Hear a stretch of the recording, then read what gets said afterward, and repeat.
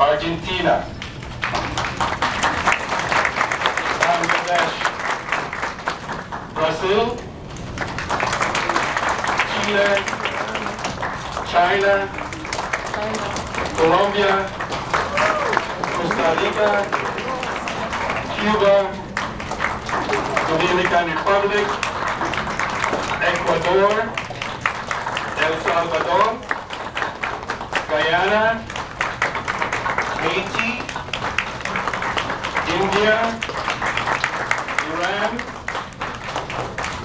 Israel, Jamaica, Jordan, Kenya, Lebanon, Mexico, New Zealand, Nigeria, Pakistan, Panama, Philippines, Poland, Romania, Russia, South Africa, South Korea, St. Kitts Nevis, Trinidad and Tobago, United Kingdom, Venezuela, least, Vietnam. Is there any country I have not called?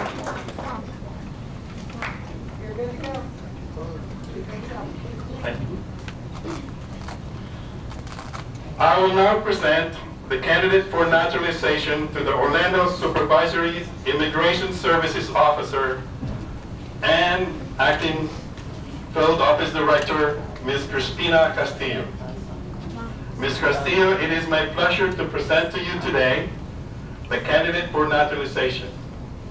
Each candidate present today has been personally examined under oath by a designated immigration officer and has demonstrated an understanding of the English language unless exempt, a knowledge and understanding of the fundamentals of the history and the principles and form of government of the United States. Each has been found to be a person of good moral character, attached to the principles of the Constitution of the United States, and well disposed to the good order and happiness of the United States. The investigation by the government has been completed in their cases, and each one has been found to meet all the requirements of the law to be naturalized. I respectfully request that all the candidates be admitted as citizens of the United States of America.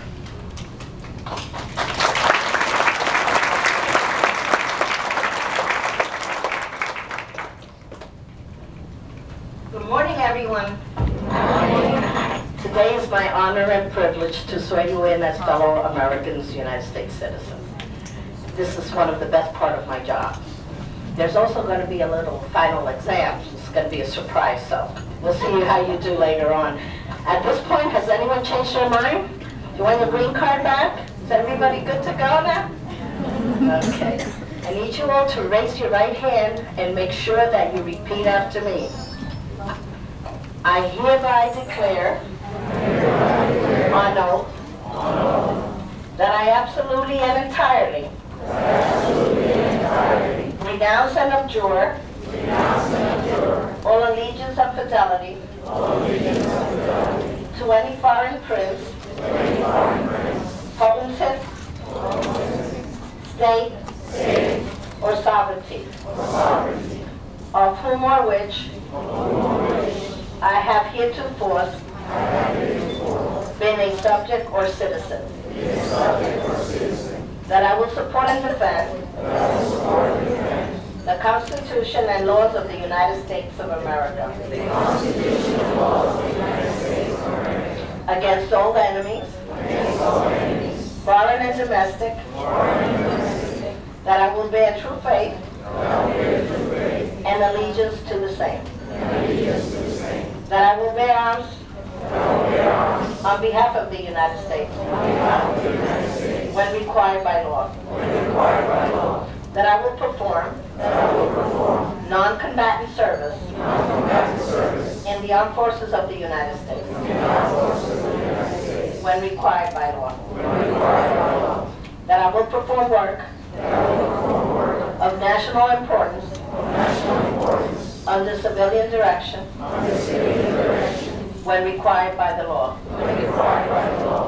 That I take this obligation freely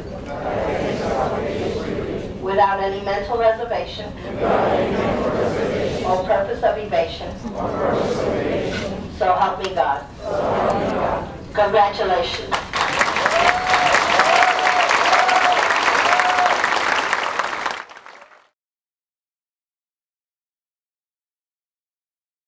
I pledge allegiance to the flag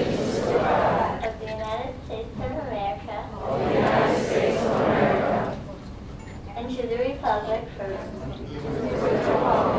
for which it stands one nation under God indivisible for liberty and justice for all.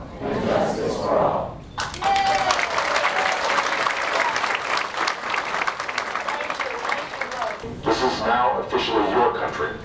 Your home to protect, to defend, and to serve through active and engaged citizenship. Together, we are a nation united not by any one culture or ethnicity or ideology, but by the principles of opportunity, equality, and liberty that are enshrined in our founding documents. Today marks a very special day in your life. You've traveled a long path to get here. You've sworn a solemn oath to this country and now have all the rights of citizenship. With the privilege of citizenship, though, come great responsibilities. And so I ask that you use your freedoms and your talents to contribute to the good of our nation and the world. Always remember that in America, no dream is impossible. Like the millions of immigrants who have come before you, you have the opportunity to enrich this country through your contributions to civic society, business, culture, and your community. You can help write the next great chapter in our American story. And together, we can keep the beacon that is America burning bright for all the world to see. I am proud to welcome you as a new citizen of this country. May God bless you, and may God continue to bless the United States of America.